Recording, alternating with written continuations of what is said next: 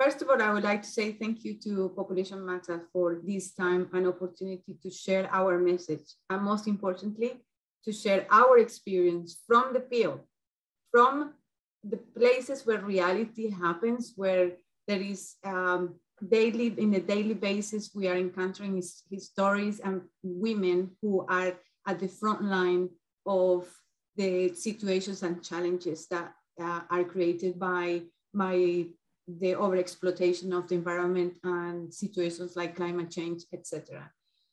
For me personally, I strongly believe in the importance of educating women and young girls and giving them access to family planning. What we are seeing now more than ever before is that women want to have a say and want to have control over their own bodies and their own decisions. And it starts from there when women have that option and that opportunity. So when we go to remote areas, especially in Colombia, um, what we've seen is they are asking us to help them with family planning. Why? Because that's the first step.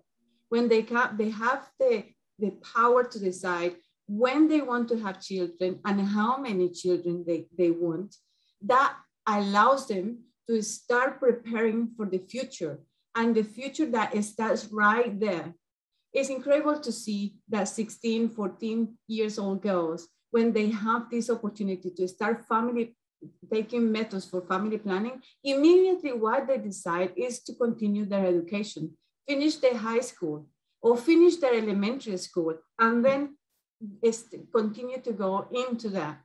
And what we're seeing is by having more time to spend on education, many times it reduced the impact on the demand of resources because there is not many, many mouths to feed. So what we're seeing is more and more women are coming to us, asking us to help them because it's, it's just the first door that opens an incredible scope of opportunities. I think the, there is a stigma, there is a taboo, but we have to break those stigmas we need to start being more conscious about the change and that we are enhancing our approach on different issues. Um, I will say, yeah, 15 years ago, when we start talking about family planning, it was more complicated and it was an intricate issue, but things are changing. I think women are also now more empowered and in a place where we want to we want to have access to our basic rights. And family planning is a basic right. From my experience, what I see in the field is that women want to have access to family planning. They really, really need it. And maybe many of them don't do it because simply there is no an opportunity. Logistically, it's difficult they require to travel to cities, to small towns multiple times to be able to access to these methods. And logistically difficult, not only for transportation, but also who is going to take care of the kids while they go down to the town and get the procedures.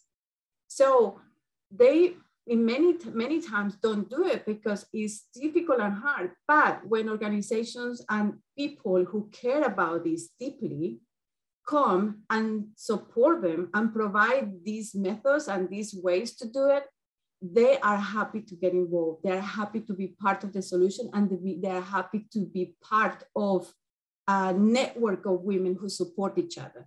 And this, I think, uh, politicians sometimes, unfortunately, are disconnected from reality, what it happens in the daily basis.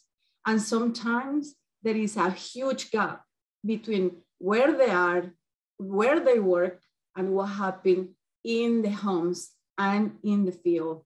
So I will encourage them to change their perception, to be open about, and not to be afraid, because they will be surprised that many women will be even more grateful for them supporting that than trying to suppress it and trying to pretend that is an issue that we shouldn't be addressing or talking. This is an issue that it has to be spoken about a taboo, it doesn't really help.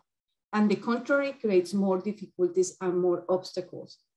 And as I say, women and young women are ready and we want this change.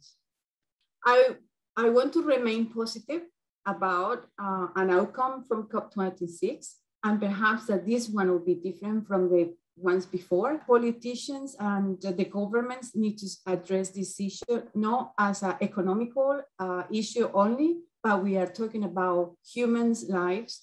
We are talking about disasters that are terrible, that cost tons of millions of lives. And unfortunately, if we don't act quickly, it's going to be more complicated and more disasters and more pain and sorrow.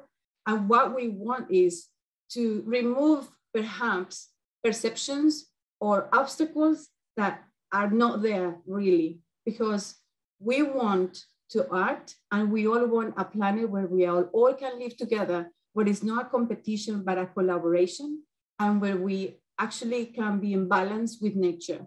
My message to COP26 delegates is we are hoping that your hearts and your minds are open and I ask the universe for wisdom for you and to see that what you are, what you are doing right now, it can benefit the planet in a tremendous way or can be negative. And we hope that all of this will be positive for the good of everyone in the planet. So I send you all of my good energy and perhaps you would like to spend time in nature after this COP and meeting an intense uh, 12 days of conversations and recharge you, your energy in, in nature that is the fountain of life and who speaks so loudly to us. And by connecting your heart, your mind, and your spirit with all the good of the universe, I think was the change deeply, deeply inside that we need to help others and to help ourselves.